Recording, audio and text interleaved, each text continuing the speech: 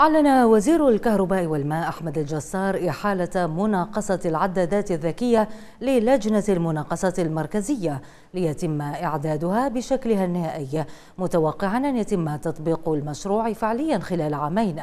الجسار افتتح مركز خدمة المستهلك بمحافظة حولي وكشف عن رفع قدرة المحطات ل 13 ألف ميجاوات خلال العام الحالي لمواجهة الارتفاع المضطرد للأحمال الكهربائية.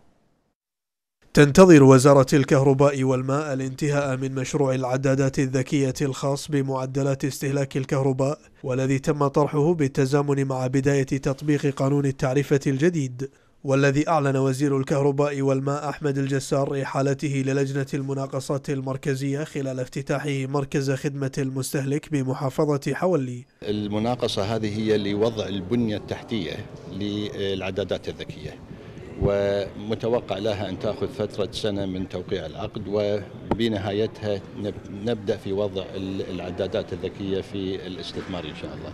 فالمتوقع من الآن في حدود السنة ونص سنتين يكون تم وضع العدادات الذكية في الاستثمار بإذن الله. وكخطوة استباقية لمواجهة الازدياد المضطرد في الأحمال الكهربائية خلال موسم الصيف كشف الجسار عن تجهيز المحطات ورفع قدراتها هذا العام إلى 13 ألف ميجاوات مقارنة ب 12 ألف العام الماضي. مع نهاية شهر خمسة ومنتصف شهر ستة يكون اكتملنا في عمل الصيانة لجميع محطات إنتاج الكهرباء وتقطير المياه.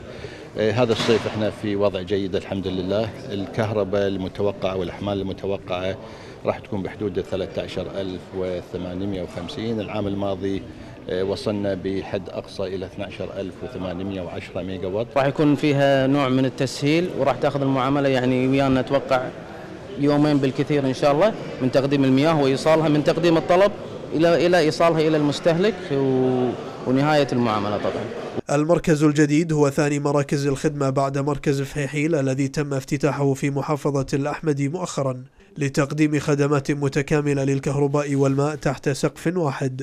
دون الحاجة إلى التنقل بين الأقسام لإنهاء المعاملات الخاصة بالمستهلكين